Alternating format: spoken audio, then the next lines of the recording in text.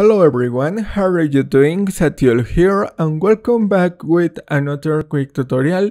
In today's, I'm gonna show how to use Microsoft Malicious Software Removal tool in Windows 10 and Windows 11. Go to the start menu and open up your favorite web browser. In this case, I use Google Chrome. Uh, go to google.com and search for Microsoft malicious software removal tool and click on the official site microsoft.com select your language in this case english and left click in download button and check the system requirements. Um, this is a list of operating systems supported. Um, click on download and wait a moment. Right click and select show in folder or go to download folder and right click and select run as administrator.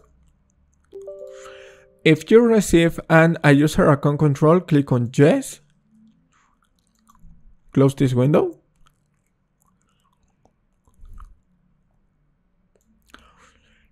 And this is the interface of this software. Um, click on next and select any other option. Full scan quick scan and custom scan. In this case i select full scan and click on next. And wait a moment.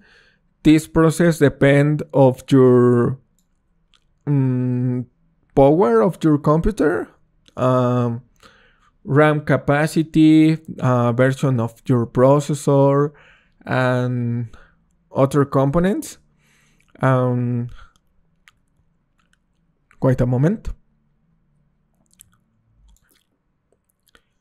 When the process is ending, you can show this message or a list of the tile of results of the scan for this malware or rootkit, adware, spyware, any other software, malicious software.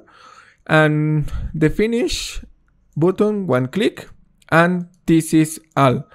Um, to apply the change, restart your computer, go to the start menu and click on restart.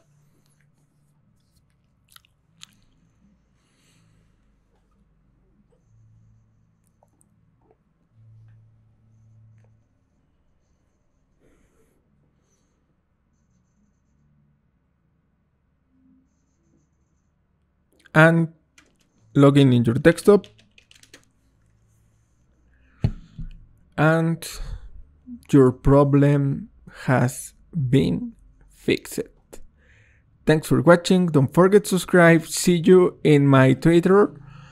Uh, call me Zatiel in Twitter, uh, in Instagram, call me Zatiel, and Twitch, twitch.tv slash Zatiel and see you in the next tutorial.